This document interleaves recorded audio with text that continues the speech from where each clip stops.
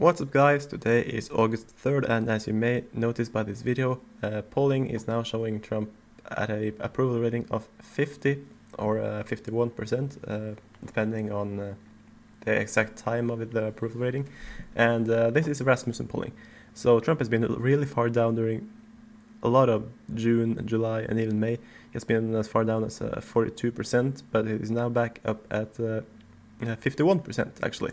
So the reason this is uh, significant is because there has been talking talk about a small uh, rebound uh, from Trump, and of course here here is compared with Obama, which is not the most important metric, but it is uh, okay because Obama also he won re-election and uh, looking at the green, which is Trump, and blue uh, arrows through the years and months, it looks like Trump also has a quite good chance to win people are saying that Rasmussen is a right wing poll, but uh, they are also known as being quite accurate. And uh, I would definitely give uh, Rasmussen more uh, credibility than morning consults. This is why I don't trust morning consults right here. Uh, if you look at this map, you would think that Trump had a much better chance at winning Virginia and uh, Minnesota than Michigan or Wisconsin. And you would believe that he's completely hated in New Hampshire but uh, that he, on the other hand, has a quite, actually, very, very good chance at winning like Pennsylvania or or Florida. here would be far above water, but they have not done anything since uh, February because of the virus. So I guess they're taking a break from their uh, usual scheduled uh, polling. But this certainly is a good sign for President Trump, so I understand why he uh, uh, tweeted about it and posted posted it on Instagram. But Trump's approval is not the only thing that is uh, deserving attention these days. Uh, one thing is that Biden, while he has not yet chosen his VP, his running mate, it is probably going to happen within a week unless it is postponed again. And uh, I guess a lot of people were disappointed that it was postponed in the first place because, of course, it is one of the biggest questions in these days is who the hell is going to be the Democratic vice presidential nominee.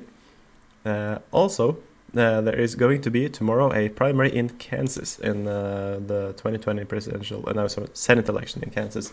And the big uh, GOP frontrunners for the Senate seat are Roger Marshall, which is the U.S. Uh, House of Representative uh, representative for the first district, which is the biggest district in Kansas, and Chris Kobach, which of course lost the governor's election two years ago.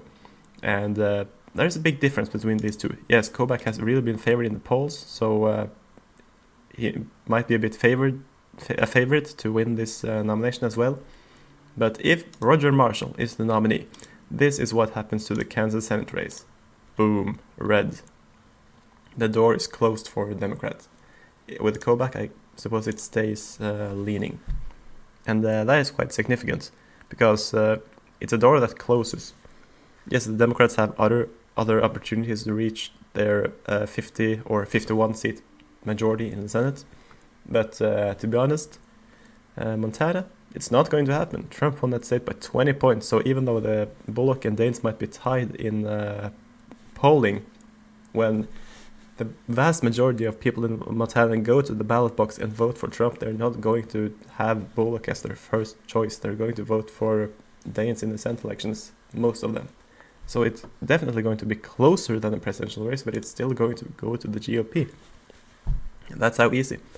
And uh, something that is also quite mysterious here is that Colorado, in uh, this uh, uh map, is still a toss-up. I definitely think that it, both Colorado and Arizona are likely uh, seats for the Democrats. And uh, while I think that uh, the Democrats have really increased their chances in several other states. I think that Iowa and Georgia are still going to go to the GOP, with uh, Maine and North Carolina still being the big toss-ups.